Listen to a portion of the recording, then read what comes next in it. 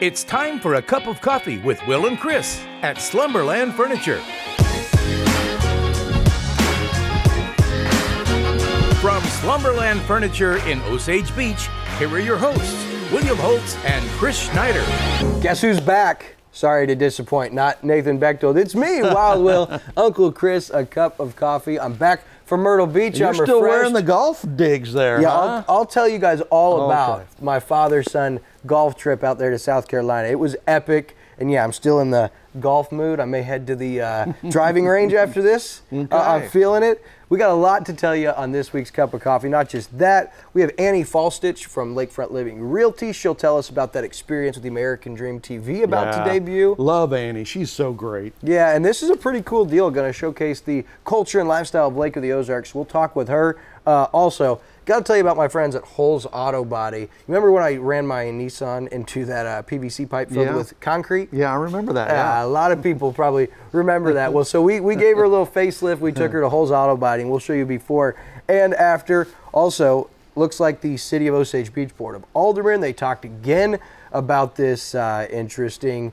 not the sales tax, the property tax uh, abatement, or whatever it is. Well, man, their last meeting, it got crazy. It got Yeah. pretty heated. We're talking about that new apartment complex on Nichols Road. Yeah, very interesting stuff. And they're they're yeah with the I guess property tax where they're not gonna have to pay it for so many years. Well, somebody thinks that's a really bad idea. It got kind of heated. Also got our hometown heroes, and then uh, a local man Mm. was charged with attempting to murder his ex-wife at a funeral home. Weird story. No less. Weird So story. That and football galore. Listen.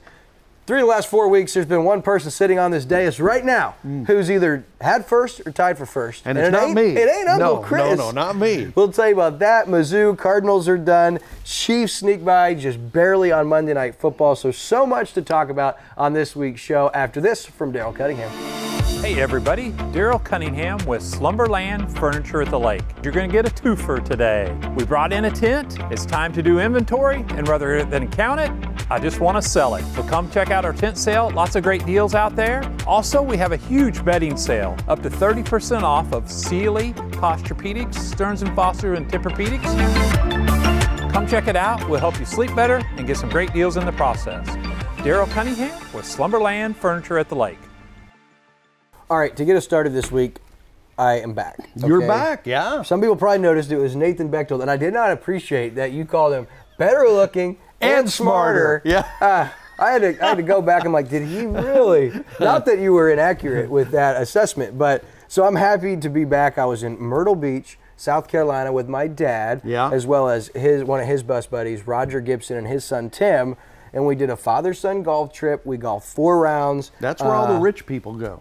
Yeah, we were very out of place there. Also golfing from the women's tees and people behind you. What's different out there is I mean those golf courses stay busy, and Mm. so you always have four that you're waiting on in front of you and four behind you waiting to tee off.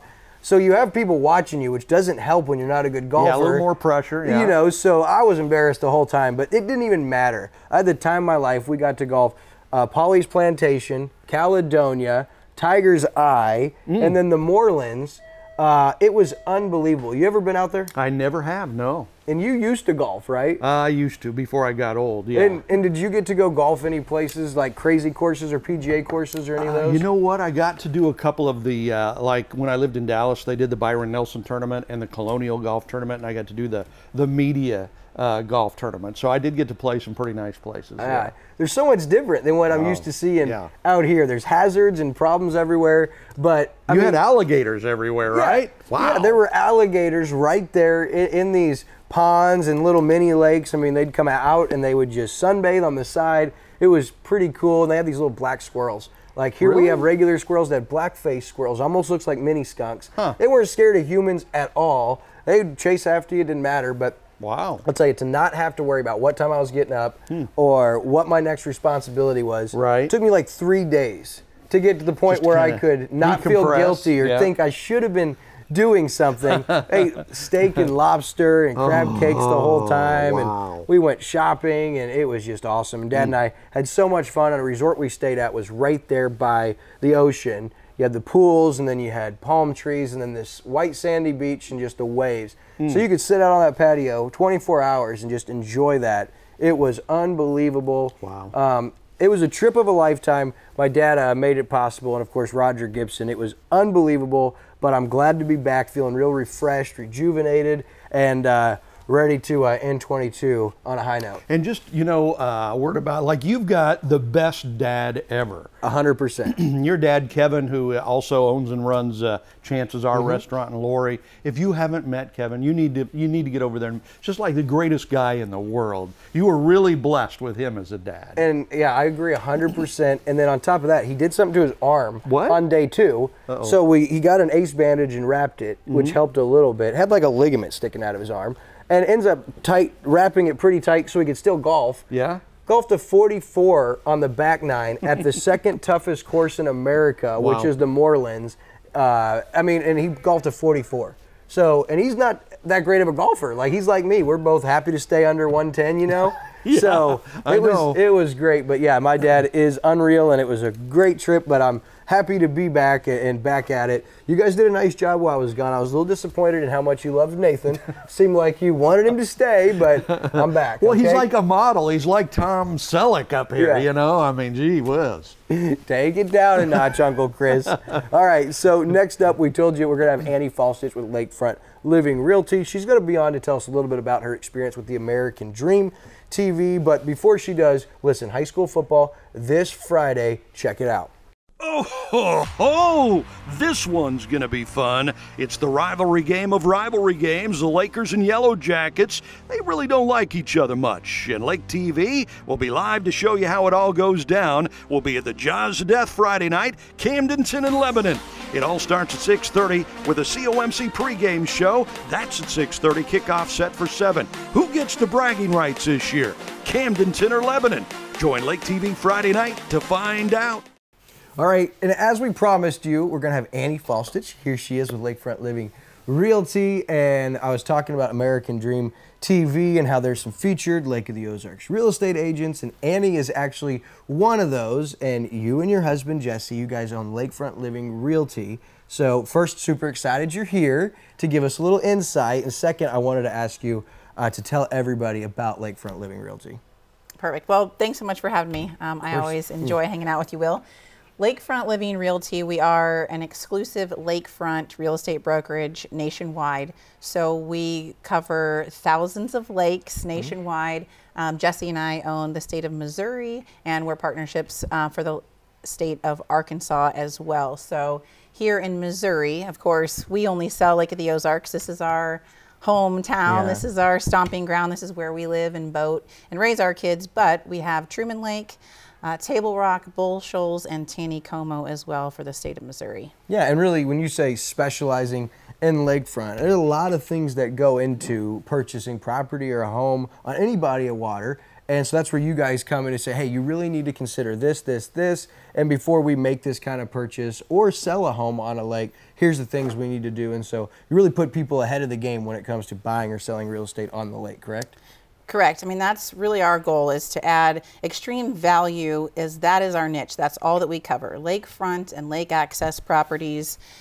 That's what our agents, uh, we live the lake lifestyle ourselves, all of us. We all boat in different capacities, Yeah. um, utilizing the lake for all that it's worth in different areas, and the different lakes are also different. So you really need to know the ins and the outs and the nuances of owning lakefront. So that's what we're here to help both buyers and sellers with. Yeah, and when you say you live the lake style, lake lifestyle, listen, Annie's kids are like more versed on the body or on Lake of the Ozarks than I am. Those are crazy.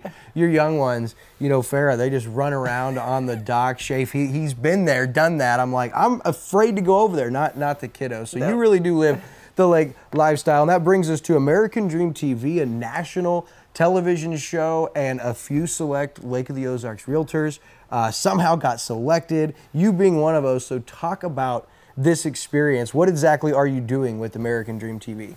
Yeah, I will. So, super cool opportunity for the lake itself. Um, the American Dream TV is in hundreds of cities, you know, nationwide. I mean, this is not, not a new program. Um, they have financing the American dream and selling the American dream. They cover larger cities across the nation, and that is growing rapidly. Yeah. Um, so we're really excited that they chose Lake of the Ozarks um, to host one of the shows, and it is Selling the Ozarks. They've chosen a handful of local agents here to really talk about lifestyle and culture. It's really just a very small portion of real estate. Actually, um, 20%. They don't want us to go yeah. any more than 20% uh, talk about real estate. It's truly about the culture and the lifestyle of what Lake of the Ozarks has to offer. Which is perfect for you because, you know, real estate is the business, but all that goes into the culture and the lifestyle, you living that, that's really your business model too. Is the real estate what we have to do, the numbers, the paperwork, that's part of it, but putting these families in this dream home to achieve this lifestyle. That's really what you love to do. And so I imagine in your segment, is it one segment, is it multiple segments that you got to showcase that? Yeah, so far, um, so it's multiple episodes. I mean, as of right now, we you know at least know that we have six, and within each episode, each agent will have a segment, mm-hmm. and the difference with this program compared to others, um, I've had experience with HGTV and, yeah. and some others. This is not there. They call it real TV, not reality TV. The agents ourselves, we are directing the content of our segment. Mm-hmm. So we're producing the information and really setting that up um, how we see. So it's they're they're giving us free reins. They, they give us a, a, guy with a camera and tell us to go have at it. Have so, have at it. Yeah. So these are like network finished episodes and so in each finished episode all of the lake of the ozarks realtors have a segment you'll be going back and forth Yep. And so I don't know if you can tell us how much is going to be in your segment. Can you at least tell us like when your segment is going to debut or when we can look forward to that? Yeah, we have already um, shot the first two, but the first one uh, is airing this Saturday. Oh, so perfect Saturday timing. morning. Yep, perfect timing. Saturday morning on CBS at 11:30. 11:30, and that's the KOLR 10 Springfield CBS. That's going to be on. And now, if you can't catch that this Saturday at 11:30, there's on-demand options as well. Correct? For sure. I mean, they it's really going to cover across the board. So you're going to be able to find it very easy. If you can't um, watch it this Saturday at 11:30, DVR it, but you're going to find it on Apple TV, Roku, Fire Stick, um, YouTube. You know, yeah. a lot of those. All those options. platforms All that those platforms. you want to watch that at home on in case you can't watch this Saturday. So can you give us a, a little insight on what we might see on, on your segment or on the first episode? Yeah, the first episode, I'll give you a little insight, but I did talk about shootout. Oh, okay. Yeah. Talk about shootout. So you may see some shootout faces or yep. video or events in there. And so numerous realtors this Saturday, American Dream TV. What's the experience been like for you personally going from normally being just on camera to kind of playing director, producer, creative mind? What's that been like? It's actually been a lot of fun. I mean, it's a huge learning curve. So once we got through the first one, of course, then you dissect it and go, okay, what can I do better? So I I do anticipate each you know episode is going to get better for all all of us host. Um, but really, I've seen a, a, glimpse of the first one, and you're going to want to check it out. I, I'm excited about it. I think everybody did a great job, and moving forward, it's just it's going to be a lot of fun. And quite an honor to get selected and to showcase and represent Lake of the Ozarks on a national scale. Because the hopes are with this series, people see this and from other parts of the country, they're like, man, I want to check out Lake of the Ozarks. I'm going to give Annie a call and get a tour. So, well, so kudos to you and Jesse and all your crew. Again, 11:30 is the first episode debuting this Saturday on KOLR 10 CBS. You can also watch that on on-demand platforms, and then I'm guessing it'll debut the next episode every Saturday at 11:30 on KOLR 10. I, I believe so. Yep, okay. that's the the drill as far as I know. But we are always looking for new content. So come to me if you have a platform that you would like to showcase, a home that you are thinking about selling, or that you would like to showcase anything unique yeah. to the lake. I'm always open to you know look for that new content. Could be on American Dream TV with Annie Falstich. We'll be back on Cup of Coffee after this. Hey, be sure to join us for this week's COMC Community Spotlight Show. We get to know one of the best cooks in the whole lake area. It's Papo, it's Christopher Galloway from Papo's Pizzeria. Some great stories, and you know what? He's actually a musician too. So be sure to join us, Lake TV's Community Spotlight Show, every day right here.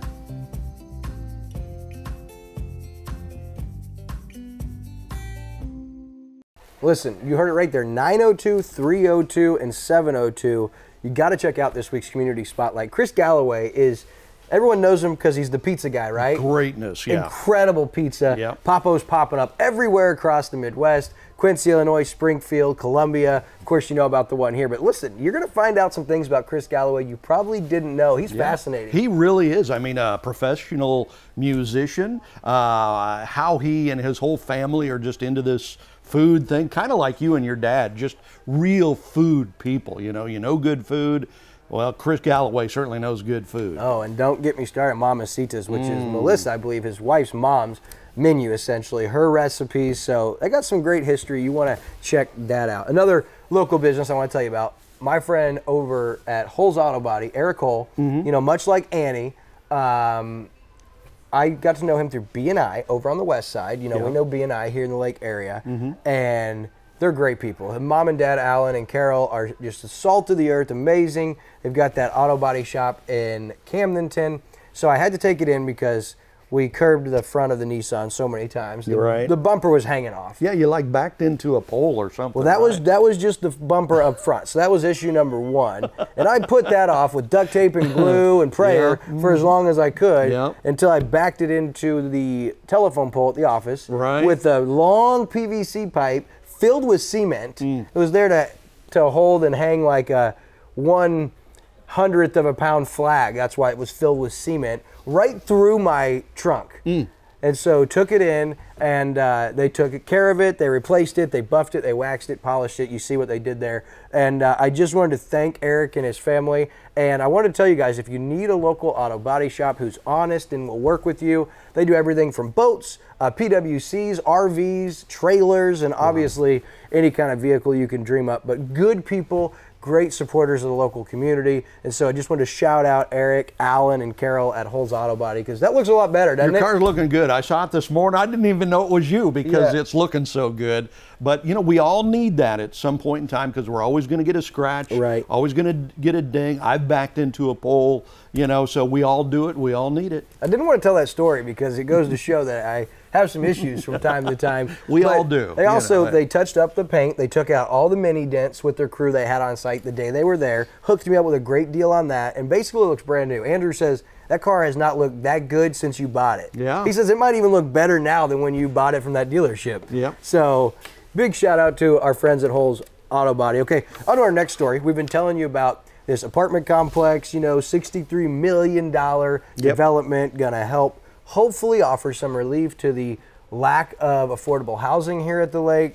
So we told you about it over the last couple weeks, but since last week's show, when you had Nathan Bechtel on, there's been a Osage Beach uh, Board of Aldermen meeting, and it got a little tense. Yeah, it did.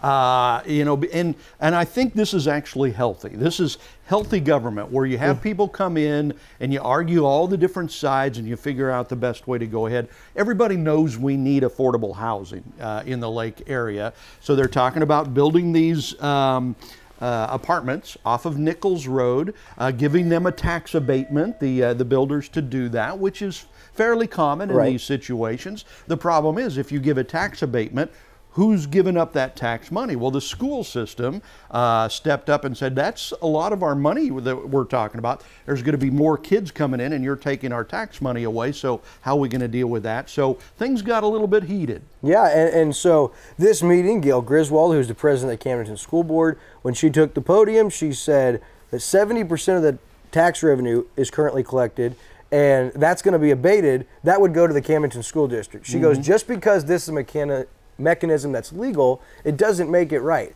I think you're taking the largest tax away from the school. We have a lot of debt to pay back and a lot of work to do. You're impacting the staff and you're impacting our kids. She went on to say that cost about $13,000 per year to educate a student Wow, that was a stunning number for me. 13000 a year per student. to to educate them. Um, and so, Teg Tegethoff, who's the, one of the developers, Yeah. the argument that we're putting a financial burden on the school is flawed in the sense that every home in Camden County has a student, one student in it who's living in a home that's not worth two million is putting a burden on the school. It's just not how schools are funded or how municipal finance works. He said.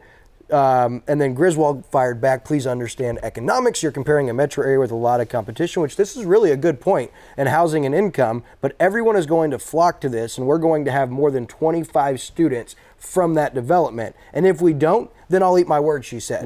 But you need to be prepared for that impact. So what she's saying is so many new students would go to the campus over there off of KK or wherever that campus is, the Osage Beach uh, Elementary, that's actually part of the Camdenton School District, that they would see an influx, probably at least 25, and there's going to be no increase in funding to that school. Yeah, and, and so she that's a says, good point. And she says, if that's not the case, I'll eat my words, but you guys better be ready for that. And as the school district, the president of the school board, she was concerned. Um, however, the board did vote to approve uh, by the end of it. And so hopefully that by the time this all comes to a close and they move forward on this, hopefully there can be some kind of, I don't know how you would make this up to the school district or offer assistance, but it seems to be a serious concern for Camdenton. Yeah, and it wasn't even a close vote. The board voted unanimously to uh, pass the bill, uh, which grants uh, the tax abatement, designates the area of land Sycamore Creek uh, blighted, and approves the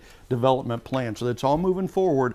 But the school district, and in particular the school board president, Gail Griswold, sent the red flag out there. Okay, you know, we all know we need more housing, but don't hurt the school system while you're doing it. And so we'll have to see how that uh, that develops. It's all a part of progress. It's sometimes growth is hard. Yeah, and because we haven't seen a lot of these new developments, and so with the, the incentive is the tax abatement that makes people want to come here. We'll give you a little price break. We haven't had a lot of this before, so the school district is also saying, hey, when we get these developments, it might be a good idea to include us in the planning uh, ahead of time. Yeah. Because we'd like to we'd like to be at the table. We'd like to have a say in this because we're the ones that are going to feel this the most.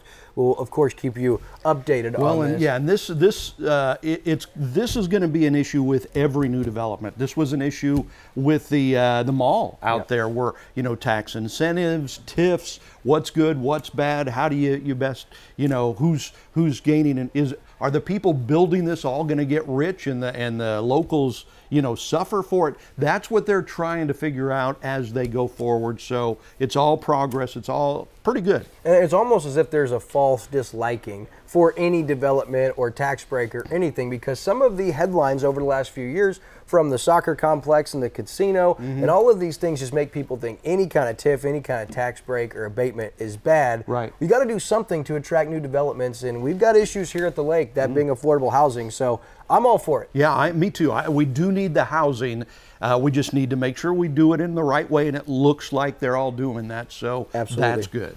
All right, so on to our next segment. It's our Central Ozarks Medical Center hometown hero. Yeah. And this week, it's actually the CEO of Central Ozarks Medical Center, Kelly Miller. It was her idea for Hometown Hero. She said there's so many great people in this community that do all kinds of great things. Let's highlight some of those people. How about that? And so we got a nomination from Angie Duncan, who's a staff member with Central Ozarks Medical Center, and she said, "Hey, I think even though it's a COMC uh, award or recognition, Kelly deserves to be recognized, and I couldn't agree more." Uh, yeah, I Kelly, agree. Kelly Miller's been the CEO at Central Ozarks Medical Center for about two years. In those two years, Central Ozarks Medical Center has become the fastest growing medical uh, institute in the entire Midwest. They've got clinics going up in these rural areas. They've got clinics going into schools. They've got dental clinics they'll bring. And so it's serious business when you entrust somebody who is a business mind like Kelly Miller with all this government money. How can we do the best with it? And Kelly Miller and the crew at CMC has been doing a great job of growing and offering uh, health care for people that may not have insurance, may not be able to afford it, and not just you know a family doctor. Like I said, dental, mental health, uh, behavioral health, all of those things. And on top of that, she's got two boys and her daughter Lily that she just loves. Travels around going to football games, baseball games, uh, vacations. She loves her family. On top of that, she also has the Blue Cat Tavern and Grill, Which is in Roach, Missouri. yeah. Some of the best food at the lake. Prime rib last or third Saturday of the month. Unbelievable prime rib. But she loves people, and Angie said, you know, she loves doing things for her staff at COMC. She loves doing things for her staff at Blue Cat. She is somebody who just loves people and loves giving back. and it was her idea for this segment because she wanted to highlight people. Well, it's your turn, Kelly, to be highlighted and recognized as this week's hometown hero presented by COMC. Rather fitting, I think. Absolutely, she's greatness, and uh, man, are they growing? COMC new in Eldon, new in Laurie, new down on the Strip. Uh, before that, you know, Osage Beach, Camdenton, Richland. So they're greatness. Yep. So we like we love you, Kelly. Thank you for all you do. Our hometown hero. All right. So our last local story. It's a little crazy. Crazy. Um, local man charged in attempt to murder his ex-wife, and it's done at a funeral home in Eldon back in 2021. Well, he's finally been charged. Yeah, right. So he, uh, this guy apparently, according to the probable cause documents, uh, officers dispatched to the funeral home. Man inside with a gun. Authorities say he'd come to the funeral home and approached his ex-wife, saying he wanted to talk to her. She declined and resisted his attempt. So he just pulls out a gun, and says, "Okay, I'm gonna do it right here, man." And then, and some great citizen jumps in, wrestles him to the ground, and avoids a major, major, major catastrophe. But how crazy is that? That Uh, just just nuts. During that struggle, uh, the gun was discharged, Yeah. nearly hitting multiple people. One person said they heard Duncan say, "Leave me alone and let me do what I came to do with my ex-wife." So he had no good intentions. Hmm. First degree domestic assault and armed criminal action are each punishable by up to 15 years in prison, and the unlawful use of a weapon is punishable by four years of incarceration. However, the first degree domestic assault is a violent crime that requires the defendant to serve 85% of his sentence before he would even be eligible for parole. He gets 34 years, meaning he's got to serve 85% of that before he'd be eligible for parole. So you got like 28 years Yeah. before he could even consider, which is probably where this guy belongs. Miller County Prosecuting Attorney Ben Woodfree is grateful for the quick response of the Eldon Police Department back in April of 21 and their hard work in solving this case. Just crazy some of these headlines oh, we've had the last Kind of spooks you a little bit when you hear stories like that. Just crazy. All right, so we got to run through sports quick. Cardinals knocked out. yep, they're done. That's First round. crazy. Yadi and Pujols. What a magical year mm. to only get two extra games. That Yeah. was sad. Mizzou lost again on the road to Florida. But let me ask you real quick. Even though they've lost these three, do you think this buys Drinkwitz a little grace because they've been such close games Yeah. against really good teams? I do. Yeah, I, I, you know, I mean, they they really almost should have beaten Georgia, the Should number one team in the country. Auburn the week before. Yeah, they had that one three times and blew it. Should have beat Georgia. Played Florida well, so yeah, I think Drink's doing a good job. He needs just to figure out how to get him over the hump, but they're only going to give him so much time, so maybe another year after this to see if he can get it turned around. But I see progress there. Yeah, 0 and 3 in the SEC, but man, those are tough three games Yeah. to be that close. Got to find a way to win one of those. All right, Chiefs, you guys saw it. Crazy ending. Uh, Kelce only had 27 yards receiving, four touchdowns. Four. Uh, that's an NFL record on Monday night. Next week, you see the helmets behind me. The Bills, baby. Let's go Buffalo. Four and one, four and one, So squaring you're, off. You're, you're, you're rooting for the Bills over the Chiefs. Absolutely, Okay. I'm rooting for I'm the rooting Bills. for the Chiefs over the Bills, although I do think the Bills are going to win.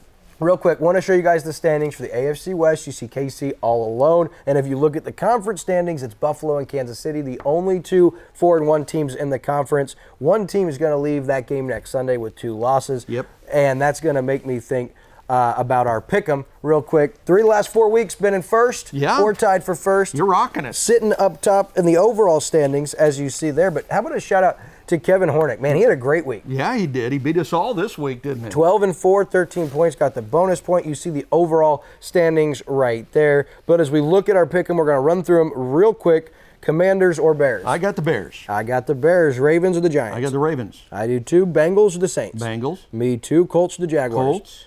Boy, that's weird. I know we're. I'm the Colts as well. Vikings over the Dolphins. I got the Vikes. Patriots over the Browns. I got the Browns. That's where we're different this week. That- That- I think that's the only one we're different this week. Packers over the Jets. I got the Packers. 49ers or the Falcons? Niners. Me too. Bucks over the I Steelers. got the Bucks. I got the Bucks. I got the Cardinals over the Seahawks. Yep, me too. I got the Rams over the Panthers. I got the Rams, and they're my money pick. Nice, Okay. very good. I'm gonna be brave. Buffalo over KC as my money pick. Wow. Buffalo's not losing. again. Wow. Okay. I got the Eagles over the Cowboys. I got the Eagles. I got the Chargers over the Broncos. I got the Chargers. Only one pick was different. We had six different ones last week, and we split them. Just one different this week. Hey, that's how you can uh, ensure that you don't let me gain any ground on you. You know. All right, so lots of great stuff. Of course, this Friday night, Camdenton and Lebanon. Yeah. Crazy, both seven and zero. Right here on Lake TV. Six fifteen. A little early this week. Told you about Chris Galloway. Also, make sure you check out uh, What's Burning with Kevin KB Burns, 702, 502, and 1102. That's going to do it for Uncle Chris. I'm Wild Will. Until next week, we'll see you then.